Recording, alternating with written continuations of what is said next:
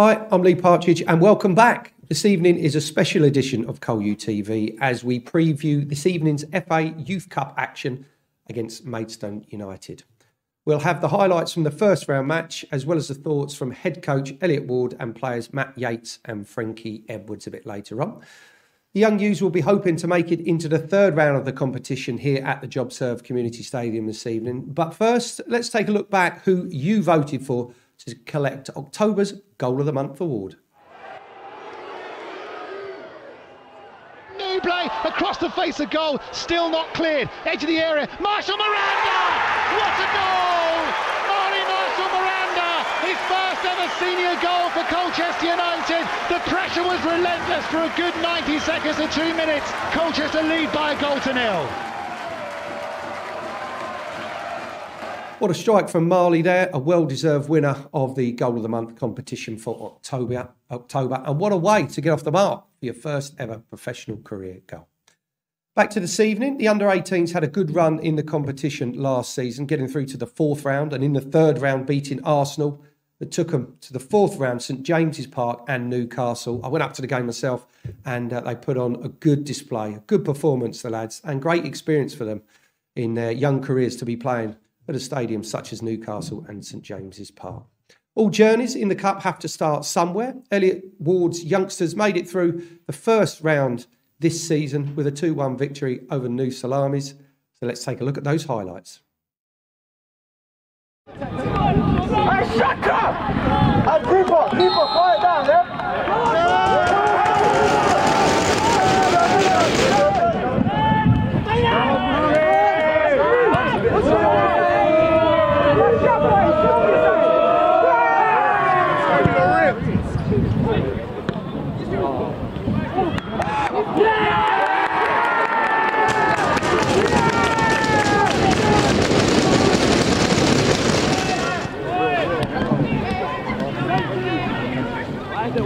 one pussy overhead.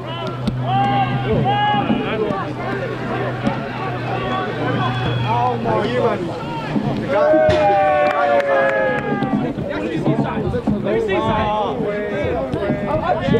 On his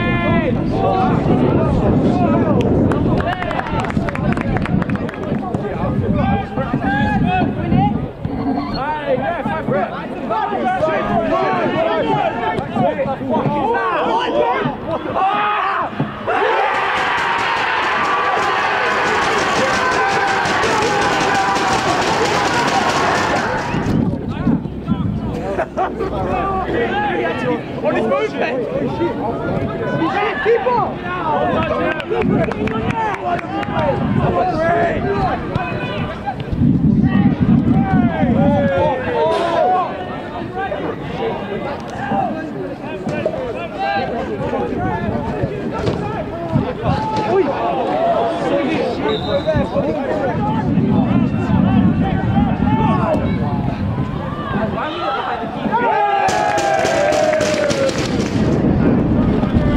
Come out! Come out!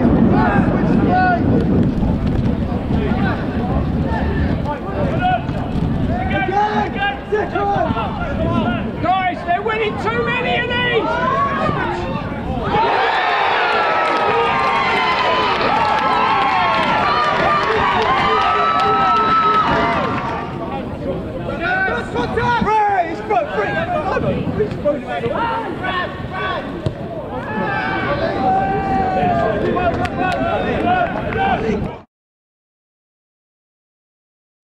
Now, I'll admit that footage was a little confusing.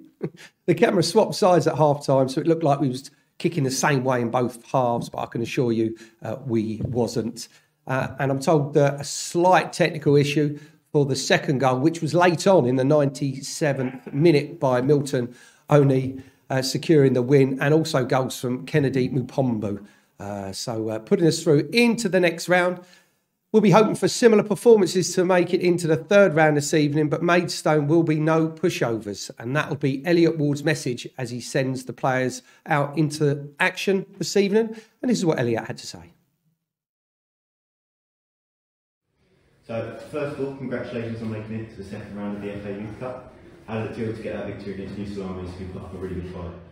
Yeah, it was really good. It was really important for us to um, uh, to go win the game. It was a game that we felt that we could uh, really impose ourselves on, and um, we ended up having a lot of the ball. And you know, they were very hard to break down. So uh, we had to be patient with it. We had to stick to what we do. Um, we just felt that if we kept going, you know, a goal would come. Uh, thankfully, it did, and then went, went on to win the game. So you're coming into this game following a dominant performance in midweek against uh, Oxford United in the Professional Development League Cup. Um, has the success of your tactics in that game reaffirmed that what you're doing on the training ground is working, or have you taken a different approach to this game? Um, I think obviously we try and work on the grass a lot to then put it into practice in games. So it's um, another game that we had to win. Oxford we had to win by two goals, so the challenge was that. Um, so the boys knew what they were going into, what they had to do, which was really pleasing in the end of how they done it. Um, they had a really, really good mentality to the game. Um, and same again, we approach the games the same. We, we, we play to um, play to our strengths, play the way that we, like I said, practice in, in training. Um, ultimately, it's cup competitions. You know, Mm. you have to win. So Yeah, it was brilliant to watch because not only the goal scoring, but also the controlling the game in the last 20 minutes, holding the ball and passing around. I thought that was really um, something that the under 18s have showed a lot, but really on that game there, I thought it was interesting. Exactly that, and, and that was that was pleasing as well. Um, we knew, it, like I said, had to win by two two goals in that game. So the boys knew the challenge. They knew that there's certain moments that we don't have to chase the game because we we'd scored three goals in the first half, um, and then it was about control. How do we, you know, maintain um, possession? How do we see the game out in different ways and um, the game's always different so you know I don't expect that to happen in, in the next round. So we'll wait and see. Well, so moving on to the opponents, Maidstone United, um, they have a decent record away from home uh, in the league, losing one game in three. Uh, what do you expect to come up against when we welcome them to the Jobserve Community Stadium? I think they're, they're a team that uh, work hard. They're really committed. They they showed a lot of spirit in the last in the last round where they were losing the game and ended up winning. Um, they went behind twice actually. So yeah, they're, they're going to be really up for the game and probably see it as a game that they can do well in. Um, so it's going to be a challenge for us to make sure that we're we're just as good as them in terms of um, desire, uh, winning second balls, all that stuff. Um, so yeah, we, we expect a tough challenge, uh, but we're more than ready for it. Perfect. And finally, what would it mean for make it to the third round, especially considering the calibre of teams that get added into the uh, pot? Yeah, it's great. It's um, it's a big one for the players that they look forward to this competition. You know, they want to get to the third round because of that. They want to play against big teams um, uh, in, in very good stadiums, and they want to test themselves. So it's something that we're we're looking forward to. Once tomorrow happens, you know, we, we need to go and win the game first. Um, that's the first challenge, and then wait the, yeah, wait and see after that. And um, but that's what excites the players. That's what motivates them. That's what that's why they want to succeed in this competition. Um, so for them it'd be great, but we're a game to play first, and you know, hopefully we'll win it. Some good words of encouragement there from Elliot. Uh, and it's good we've got the opportunity to get behind these young players in what promises to be a fantastic evening of football here at the JobServe Community Stadium. We've got the thoughts of a couple of players ahead of this evening's game. We'll be hearing from Matt Yates shortly. But first, a few words from Frankie Edwards from the training ground. First of all, congratulations on making it to the second round of the FA Youth Cup. New Salamis gave you a good game uh, and set up well defensively. Uh, how did it feel to get that breakthrough and go on to win the game? You know, at the time it felt like it was impossible to do that because you know, sitting back so much. But I mean, when we got the li- literally goal in the 97th minute, it was buzzing, buzzing for the team. Uh, so moving forward, how have you been preparing personally and as a team in the lead up to this game? Well, as when we come up against New Salamis, we knew, well, we kind of knew that they was going to do the exact same thing, Mason. So we've kind of been playing in tight areas to try and break through lines in tight areas and stuff like that. See So we've been preparing in that way. Perfect. So I was, I was going to say, what, what are you expecting to come up against when you take them on? So uh, do you think they'll take the game to you, or are you hoping for more of the same? They'll sit back and you have to break through. I, I personally think they'll be sitting back and like literally exact same as New Salamis. I think they'll just go long every time. I don't think they'll start trying to play nothing like that. Just go long and try and get a lucky one goal and then sit in. So it's hard to look forward past the game, uh, but what would it mean for you guys to make it to round three of the competition, considering the calibre of teams to get added into the pot? mean everything. So, I mean, even winning the first round is just a big thing. It's one of the biggest tournaments and obviously cups we get into for an under 18 squad. So it'll be amazing. Have you got any hopes for the kind of teams you come up against if you made it to round three? I'd love to travel somewhere up north or anywhere up to get good big prem teams. I don't, I don't mind any of them. New Salamis gave you a good game, um, set up well defensively. How did it feel then to get that breakthrough? Oh yeah, no, obviously it was amazing, buzzing. The team was buzzing the whole way through. Um, yeah, when the goal went in, hit the back of the net, it was sort of a big relief for the team because we've been obviously trying to break them down the whole game. But when we finally got that breakthrough, it was just the best feeling in the world. So how have you uh, been preparing personally for this game? Personally, we know that they're we know their game plan's probably going to be to sit back. We don't know yet, but if it is, we've been preparing obviously in tight areas, been trying to play out, get the ball out wide, get crosses in. As uh, yeah, the wide areas is where we can hurt the most, I think. And through the middle, we've got some good players in there. So hopefully, if we can get the ball in the middle and go wide, to see what happens. And yeah, just playing in tight areas.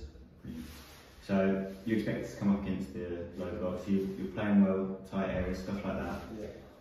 If they do get that first goal, what is your response then? Is it going to be to all guns blazing? Yeah, of course, it's all guns blazing from minute one, to be honest. But obviously, if they get that first goal, we just got to keep our heads up, keep pushing, make sure we get two more than them.